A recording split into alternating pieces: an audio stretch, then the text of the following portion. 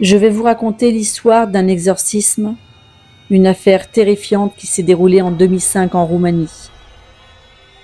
Elle s'appelait Irina Cornici. Elle était nonne au monastère de Tanakou et a subi un exorcisme fatal. Voici son histoire. Irina Cornici est née en 1982 dans le village de Perieni, en Moldavie occidentale, en Roumanie. Elle avait un frère aîné nommé Vasile, âgé de deux ans de plus qu'elle. Bien que Vasile soit l'aîné, il avait des besoins spéciaux et dépendait souvent d'Irina pour sa protection, car elle était indéniablement la plus forte des deux. La famille vivait dans des conditions modestes et faisait de son mieux pour subvenir à ses besoins. Le père d'Irina, Ion Cornici, a été condamné à quatre ans de prison pour vol de poulet. Incapable de faire face à sa sentence, il a pris la décision tragique de mettre fin à ses jours. Irina, alors âgée de deux ans, a été témoin du suicide de son père par pendaison à la maison. Sa mère, une alcoolique violente, ne pouvait pas s'occuper seule de Vasile et d'Irina. Par conséquent, les deux frères et sœurs ont été pris en charge par les services sociaux et placés dans un orphelinat à Barlade, à l'orphelinat Barlade, la vie était difficile. Les enfants avaient très peu de nourriture à leur disposition, et les plus grands avaient tendance à prendre la nourriture des plus petits. Les employés de l'orphelinat eux-mêmes ne se gênaient pas pour s'emparer des rations destinées aux enfants. Dans cet environnement impitoyable où la cruauté régnait, les abus étaient fréquents. La violence physique était monnaie courante, avec des surveillants frappant les enfants au visage ou à la tête. Parfois même, les enfants étaient forcés de se battre entre eux comme punition. Cette histoire révèle un passé douloureux marqué par la tragédie et l'adversité où Irina et Vasile ont dû faire face à des circonstances difficiles depuis leur plus jeune âge. Dans les années 80, sous la direction du dirigeant communiste Nicolae Ceausescu, les orphelinats en Roumanie étaient de véritables cauchemars. Le gouvernement promouvait la croissance démocratique, mais les familles disposaient de revenus très modestes, en moyenne à peine 1000 dollars par an. L'avortement était interdit pour les femmes ayant moins de quatre enfants, ce qui a entraîné de nombreuses tragédies liées à des avortements clandestins. Pendant cette période sombre, plus de 2 millions d'enfants ont été retirés à leurs parents défavorisés et placés dans des orphelinats surpeuplés, insalubres et dangereux. À la fin de son adolescence, Irina a découvert qu'elle était attirée par les femmes. Elle a alors entamé une relation physique avec une jeune fille du nom de Parashiva Anglel, surnommée Kitsa.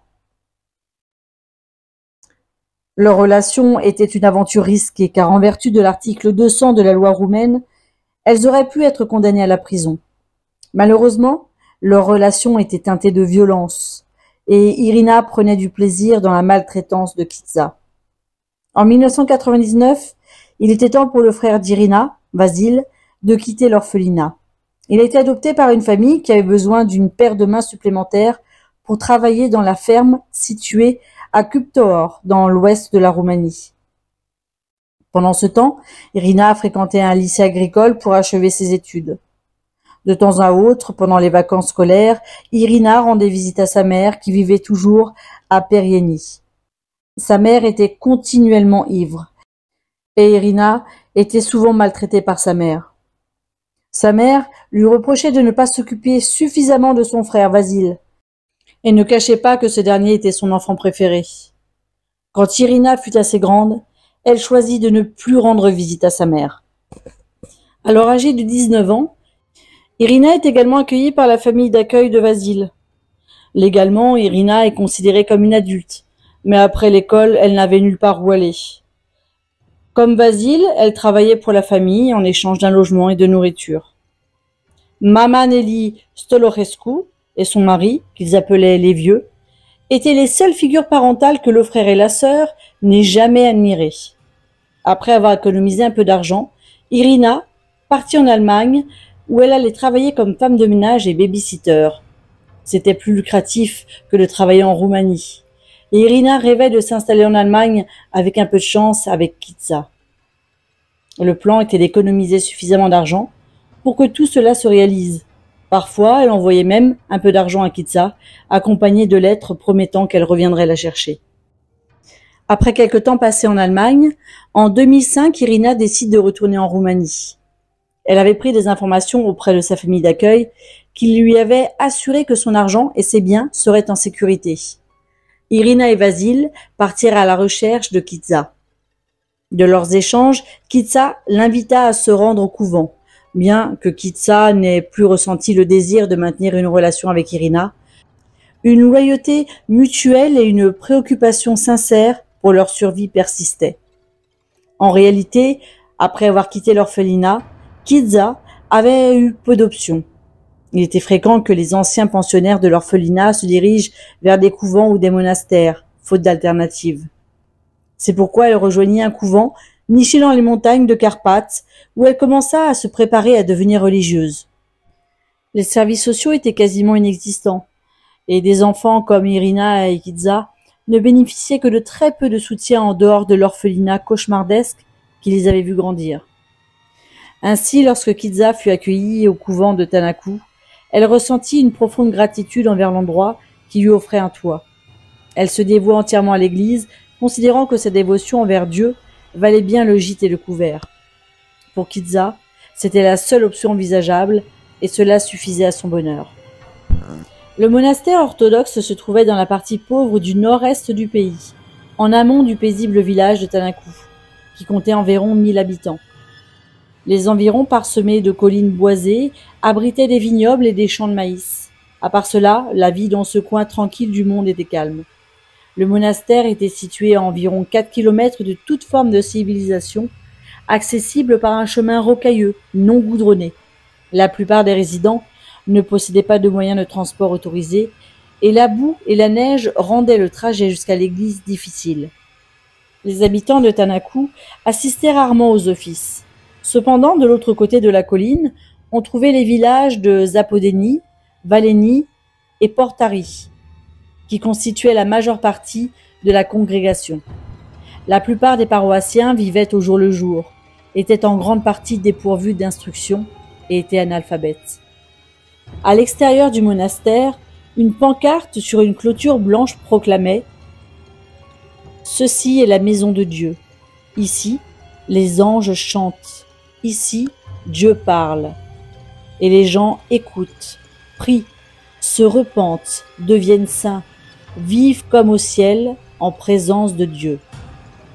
La construction de l'église avait été achevée en 2001, donc en 2005, elle était encore en expansion. La religion avait été interdite en Roumanie pendant de nombreuses années. La chute du communisme avait provoqué une résurgence du réveil religieux et de nombreuses églises et monastères avaient été construits dans tout le pays. Environ 30 religieuses vivaient en servant à l'église de Tanakou. Le père Daniel, à la tête du monastère, était passionné et plein de confiance. À l'âge de 29 ans, il exerçait la fonction de hiéromoine à Tanakou, ce qui signifiait qu'il était à la fois moine et prêtre dans l'église orthodoxe. Il était né en septembre 1975 à Portari, juste de l'autre côté de la colline du monastère. Il était jeune, dynamique et profondément engagé dans sa vocation de servir Dieu et la communauté. Il dirigeait sa paroisse avec une main ferme, et malgré son jeune âge, il dégageait une aura de sagesse. Sa longue barbe rousse et ses yeux verts perçants lui donnaient une apparence plus mûre et réfléchie qu'il ne l'était en réalité. Il s'exprimait avec autorité et les gens étaient captivés par chacun de ses discours. Sa collaboration avec l'abbesse du monastère, mère Nicoletta Arcalianou, était exemplaire, formant une équipe solide. Les religieuses les surnommaient affectueusement maman et papa, et la vie à la Sainte Trinité était paisible, disciplinée et en apparence sereine. Là-bas, il n'y avait ni électricité, ni eau courante, et encore moins d'accès à Internet ou de téléphone portable. Vivre dans ces conditions présentait incontestablement des défis, surtout pendant les hivers, lorsque les températures moyennes plongeaient sous zéro. Les religieuses travaillaient de longues heures, allant chercher du bois dans la forêt, nettoyant le monastère et préparant les repas végétariens. Irina n'avait pas prévu de prolonger son séjour. Mais son amie, Kitza, avait profondément changé. Sa seule loyauté était désormais envers Dieu et l'Église. Irina pensait que si elle rejoignait le couvent, elle pourrait être aux côtés de Kitza pour toujours. Elle envisageait également d'acheter un petit logement à proximité pour son frère, où il pourrait vivre tout en apportant son aide pour des petits travaux à l'église. À ce stade de sa vie, c'était le meilleur avenir qu'elle pouvait imaginer. Cependant, les choses ont commencé à prendre une tournure sombre lorsqu'Irina a commencé à être assaillie par des murmures dans sa tête. Tout commença au début du mois d'avril. Ses chuchotements ne la quittaient plus. Elle croyait entendre le diable lui parler, lui suggérant qu'elle était une pécheresse. Elle était sujette à des accès de violence, s'en prenant au mobilier du monastère, brisant les vitres. Elle s'en prend à des nonnes et doit être maîtrisée pour éviter le drame. Et à chaque fois, elle n'en a aucun souvenir. Il existe une théorie selon laquelle Irina n'a jamais eu l'intention de devenir religieuse et qu'elle serait rentrée au monastère simplement pour rester proche de son amie Kitsa. Les incidents de plus en plus fréquents, Irina narguait les religieuses en leur lançant des flambées de divagations obscènes. Des scènes qui ont conduit certaines d'entre elles à croire qu'Irina était possédée. Même son frère a affirmé avoir été témoin du moment où le diable semblait avoir pris possession d'elle. Le père Daniel était du même avis et considérait que ses comportements étaient le résultat des péchés d'Irina. Le 9 avril, Irina a connu une violente crise de colère et les religieuses ainsi que le père Daniel ont réussi à la maîtriser. Elle était clairement devenue une menace pour la sécurité des religieuses. Elles ont décidé d'emprunter une voiture à un habitant du village. Les religieuses ont informé le personnel de l'hôpital que la présence d'Irina constituait un danger pour elle-même et pour les autres, et qu'elle ne pouvait plus demeurer au couvent. Le père Daniel semblait prêt à se dégager de toute responsabilité concernant Irina, mais la mère Nicoletta ressentait la nécessité de veiller sur son bien-être. La mère supérieure pourrait avoir eu une autre motivation, peut-être en espérant que les économies d'Irina seraient offertes à l'église et au couvent.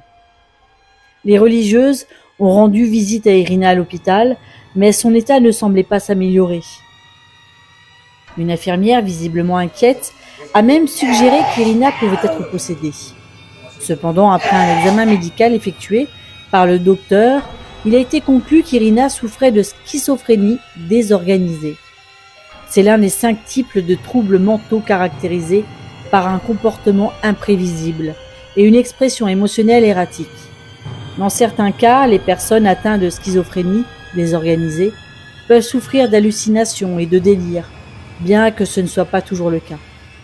Deux jours après son admission à l'hôpital, Irina a été transférée au service psychiatrie. Le médecin était convaincu qu'Irina venait de vivre sa première crise psychotique et l'idée de possession démoniaque n'était jamais entrée en ligne de compte pour lui. Pendant son séjour à l'hôpital, elle a également été diagnostiquée avec une leucémie. Elle a reçu des doses importantes de médicaments antipsychotiques, mais le diagnostic de leucémie semblait ne pas nécessiter de traitement immédiat. C'était presque comme une note en bas de page dans son dossier médical. Après quelques jours de traitement, l'état mental d'Irina s'est nettement amélioré et au bout de deux semaines, elle a été autorisée à quitter l'hôpital. Le 9 juin, deux semaines après sa sortie, Irina est retournée chez sa famille d'accueil pour y récupérer ses affaires et y compris l'argent qu'elle avait économisé en travaillant en Allemagne. Elle leur annoncé qu'au lieu de commencer une nouvelle vie avec Kitza en Allemagne, elle avait décidé de donner tout son argent au couvent. Cependant, à son arrivée, elle a découvert que tout avait disparu. Elle avait été volée par les seules personnes en qui elle avait confiance. Non seulement la famille avait dépensé toutes ses économies, durement gagnées, mais ils avaient également accueilli un autre enfant adoptif pour la remplacer. Cela a été la goutte d'eau qui a fait déborder le vase et a précipité l'effondrement d'Irina. Après sa visite chez sa famille d'accueil, elle est retournée à l'église de Tanakou, où les religieuses ont continué à prendre soin d'elle. À l'hôpital, personne n'avait informé Irina de sa leucémie et elle n'était donc pas équipée pour la traiter. Elle poursuivit son chemin pour devenir religieuse. La mère Nicoletta la prépara en l'aidant à faire une liste de ses péchés. Les abus sexuels qu'Irina avait subis étaient considérés comme un péché, et elle avait besoin d'absolution. Après sa confession au père Daniel, elle a reçu sa pénitence, prié, faire mille génuflexions à genoux, la tête baissée jusqu'au sol, et jeûner avec du pain et de l'eau. Une fois cela terminé, elle a finalement été autorisée à communier le dimanche de Pâques, qui selon le calendrier orthodoxe roumain, tombait le 1er mai. Mais Irina ne se portait pas bien du tout à ce stade. Et Kitza, ainsi que les autres religieuses, étaient profondément préoccupées pour elle. Il est important de noter qu'à ce moment-là, elle ne prenait pas de médicaments pour sa schizophrénie, car elle n'était pas retournée à l'hôpital de Vaslui dix jours après sa sortie, comme cela avait été mentionné précédemment. Elle ignorait également que les syndromes dont elle souffrait étaient liés à la leucémie. De plus, avec la pénitence épuisante qu'elle avait accomplie, quelque chose a dû céder. Peu de temps après, les chuchotements dans la tête d'Irina revinrent, la hantant de nouveau, la tourmentant, chaque nuit.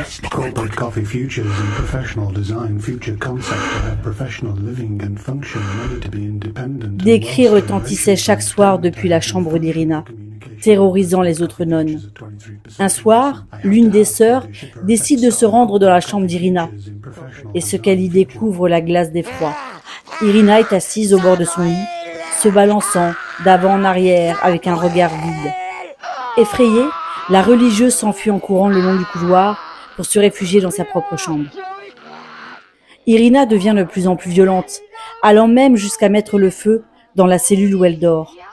Le 9 juin, pendant le service de l'ascension, Irina éclate soudainement de rire comme une hystérique. Et le soir venu, elle erre dans les couloirs sombres en chuchotant des berceuses pour enfants.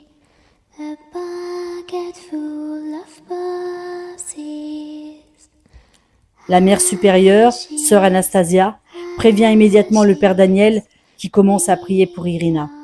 Une messe est célébrée dans l'espoir de la ramener sur le droit chemin. Le père Daniel pense que cela suffira, mais la situation ne fait qu'empirer par la suite. Lors d'une autre crise, Irina s'en prend cette fois au père Daniel pendant la messe dominicale.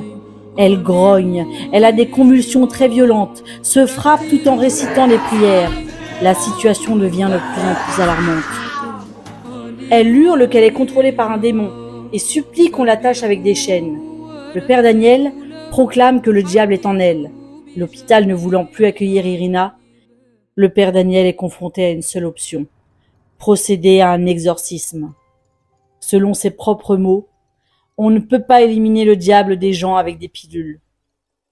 Au cours de la brève existence de l'église de Tanakou, entre 2001 et 2005, le père Daniel a mené de nombreux exorcismes avec succès. Il était de notoriété publique qu'il était l'homme idéal pour chasser les démons si vous étiez possédé. Il avait également la réputation de pouvoir lever les malédictions jetées sur les gens. La plupart des paroissiens de Tanaku venaient de villes rurales, comme nous l'avons vu. Ils étaient pauvres et très peu éduqués.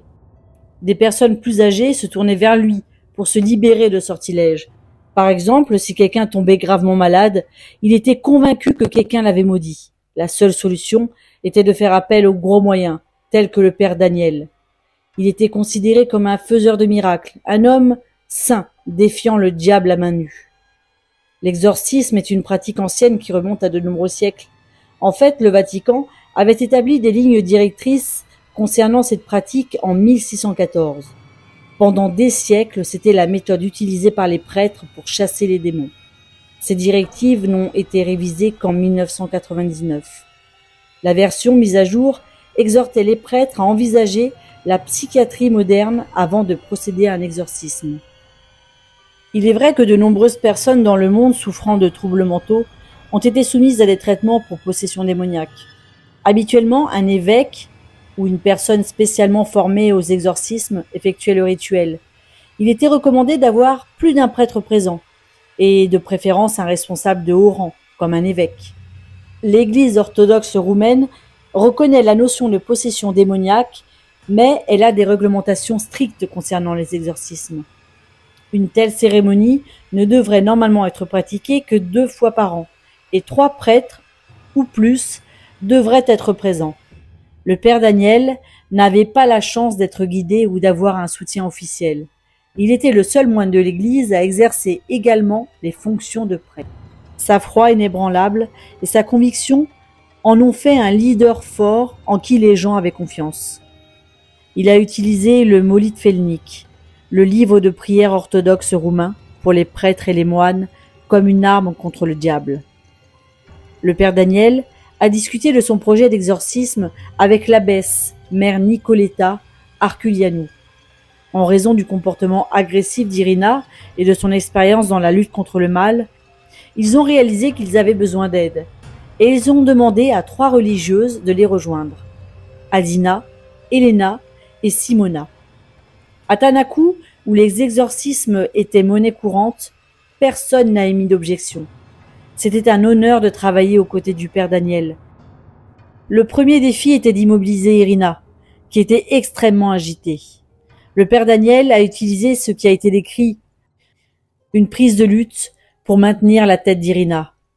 Pendant ce temps, les autres religieuses lui attachaient les mains et les pieds derrière le dos.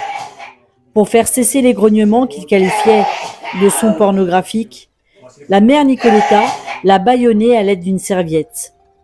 Ils l'ont ensuite laissée dans cet état. Dans le cadre du rituel d'exorcisme, le père Daniel et quatre religieuses ont tenté de la forcer à boire de l'eau bénite, mais Irina a refusé.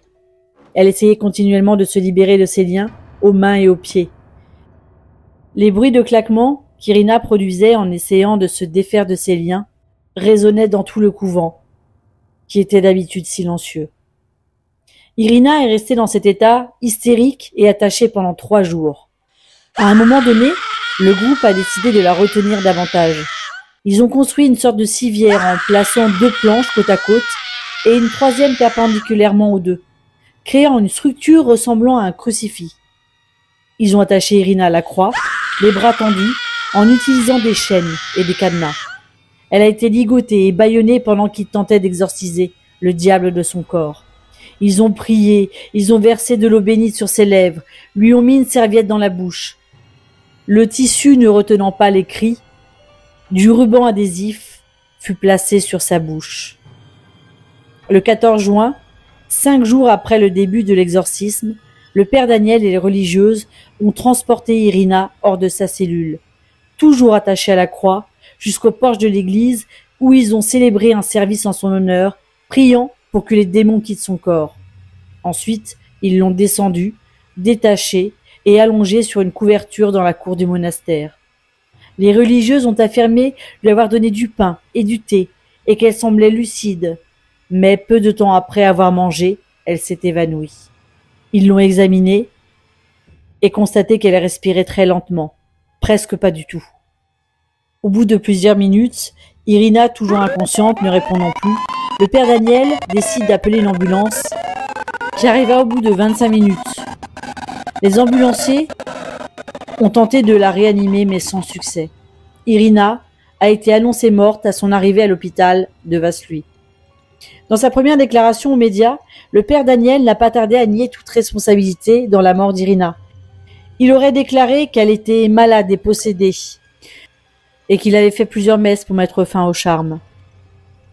Quatre jours après sa mort, le 18 juin, les funérailles d'Irina ont eu lieu à l'église de Tanaku.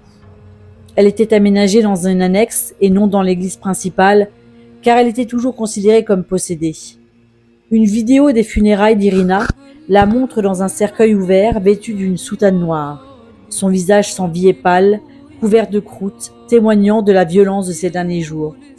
Les quatre religieuses et le père Daniel veillent autour du cercueil, tous en pleurs. Les religieuses tiennent des bougies et pleurent, inconsolables. Lors des funérailles d'Irina, alors que son cercueil était descendu dans le sol, des grondements de tonnerre ont fait taire les personnes en deuil. Pour le père Daniel, c'était un signe de Dieu, qu'il avait fait la bonne chose, qu'aider Irina était la volonté de Dieu. La nouvelle de l'exorcisme bâclé s'est répandue comme une traînée de poudre provoquant l'hystérie dans les zones rurales du nord de la Roumanie. La plupart des gens font confiance à l'Église par-dessus tout, et apprendre que quelque chose d'aussi atroce aurait pu se produire dans un lieu de refuge a effrayé le citadin moyen, craignant Dieu. L'autopsie d'Irina a conclu que la jeune femme de 23 ans était décédé des suites de déshydratation, d'épuisement et d'un manque d'oxygène. Le hiéromoine à la barbe rousse et les quatre religieuses qui ont participé à l'exorcisme ont été arrêtés et accusés du meurtre d'Irina. Le père Daniel a déclaré qu'Irina n'était pas morte sous sa surveillance. Lorsqu'il a appelé l'ambulance, ils l'ont emmenée à l'hôpital, pas à la morgue. Il était convaincu qu'elle était morte dans l'ambulance à cause de quelque chose que les ambulanciers lui avaient fait. Le père Daniel s'est exprimé à l'extérieur du tribunal et a déclaré qu'il était innocent. Il a accusé les médias d'avoir rendu la situation incontrôlable, faisant pression sur les forces de l'ordre pour qu'elles l'arrêtent ainsi que les religieuses. Le père Daniel, pour sa propre défense, a déclaré qu'il était convaincu qu'Irina serait encore en vie s'il n'avait pas appelé l'ambulance en ce dernier jour fatidique. Le pays tout entier a suivi religieusement les débats judiciaires. Les avis étaient partagés. Certains pensaient que le père Daniel et les religieuses agissaient dans le meilleur intérêt d'Irina. D'autres pensaient qu'ils auraient dû être accusés d'homicide involontaire car leur intention était de l'aider. Ensuite, il y avait ceux qui pensaient que les accusés de meurtre auraient été la bonne chose. La famille d'Irina pensait que la justice ne serait rendue que si le père Daniel et les religieuses étaient toutes crucifiées, comme ils ont crucifié Irina. La tragédie d'Irina Cornici a mis en lumière les défis liés à la relation entre la foi religieuse et la santé mentale, ainsi que les questions entourant les pratiques d'exorcisme. L'Église orthodoxe roumaine a des réglementations strictes concernant les exorcismes, mais cet événement tragique a soulevé des questions sur l'application de ces règles. Le tribunal a rendu son verdict dans cette affaire qui a captivé l'attention du pays, et le père Daniel a été condamné à 14 ans de prison, et quatre des religieuses qui l'ont aidé ont reçu des peines de prison allant de 5 à 8 ans. Condamné en appel à 7 ans de prison, le père Daniel a été remis en liberté conditionnelle en 2011 après avoir purgé les deux tiers de sa peine. Cette histoire a continué de hanter les consciences collectives de tous ceux qui ont suivi l'affaire. Un élément qui a rempli d'angoisse les habitants superstitieux du nord-est de la Roumanie a été les décès qui ont suivi la suite du procès. Les principaux acteurs qui ont condamné le père Daniel sont tous décédés peu de temps après. Le procureur, le juge et la personne qui a prononcé la sentence sont tous morts dans des circonstances mystérieuses. Des rumeurs circuleraient autour de Tanakou, selon lesquelles c'était le père Daniel qui leur avait jeté une malédiction. La question s'est posée, si le père avait le pouvoir d'exorciser les démons et de lever les malédictions, qui peut dire qu'il ne pouvait pas infliger le mal?